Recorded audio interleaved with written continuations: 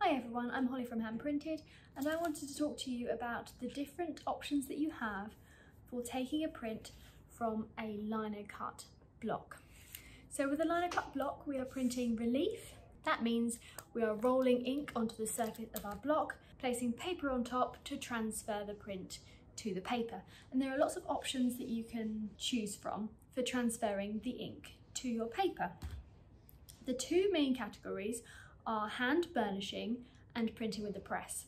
By hand burnishing, we usually mean anything that you physically print with by hand, usually something like a baren, to rub over the top of your paper to take your print. What you choose to use to take your print will depend on the equipment that you have available, if any, how large your block is and the effect you're trying to achieve, as well as your budget. If you're printing with a press, there are a few different kinds of presses you can use. You can use a relief printing press.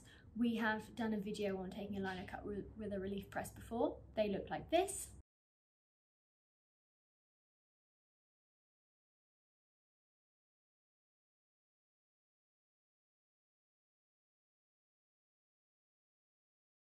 You can also use an etching press where the plate and the paper are rolled through a press on a print bed. They look like this.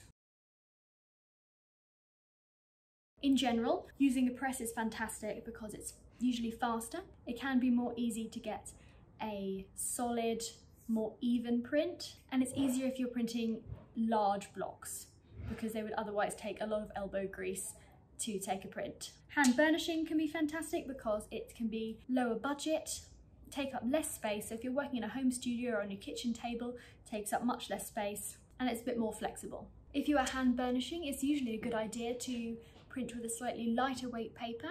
If you're printing on a press, you can usually get away with a thicker paper. So let's have a look at some of the options for hand burnishing. So when we are hand burnishing, what we usually want to do is ink up our block, lay it down on a flat surface. You can use a sheet of registration paper or you can use a cutting board underneath so you can see where you go, but I'm just gonna plonk this on top. And then to hand burnish, we need to rub all over the back of the paper to transfer the ink to the lino. Now the simplest way of doing this, if you haven't got equipment available, if you're just starting out, is to just use your hand.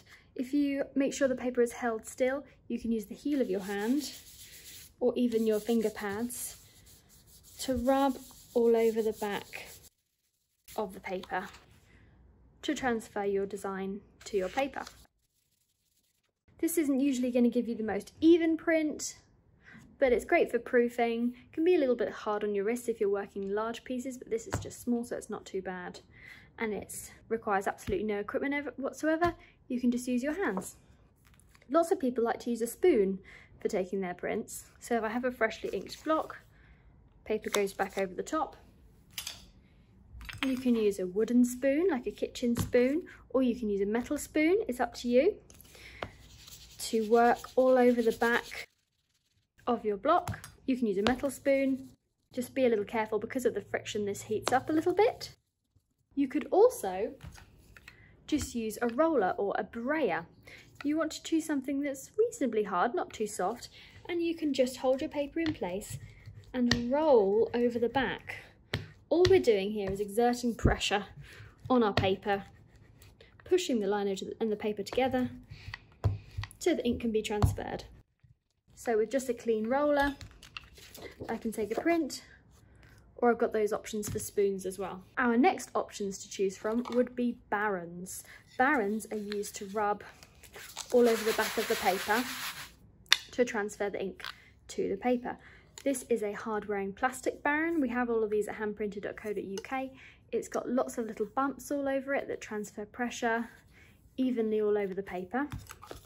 This is a bamboo baren. You can get standard ones or you can get coiled bamboo barens, Sumi and Beta barens. These work fantastically. You tuck your fingers under here. These are very inexpensive to use, so they're a great one if you're starting out, and they do produce lovely prints as well. This one is a speedball baren. great if you like a more of a grip, and it's got a little bit of give in it.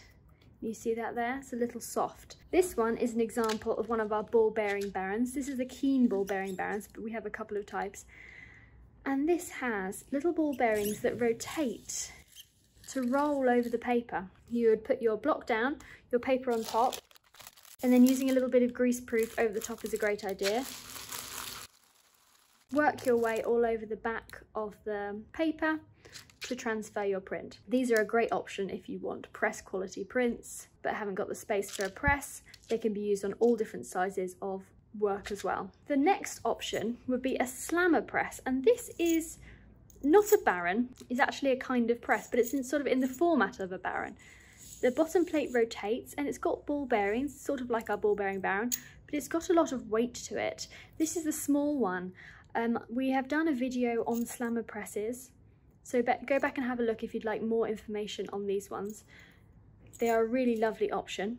There are a few different kinds. This is the small one and then there are two large ones with different size and number of ball bearings that work for different weights of paper and different printing scenarios. This one you place down and work all over the back of the paper just as if you were using a baren but the weight of this press pushes down you don't need to exert weight on it like you would with a standard baren. So that's another option for taking a really good quality print. All of these options from hand burnishing with your hand, spoon, roller, different barens, Slama press, etching press or relief press are going to give you great prints whether you're just starting out or you're getting really stuck into lino cut.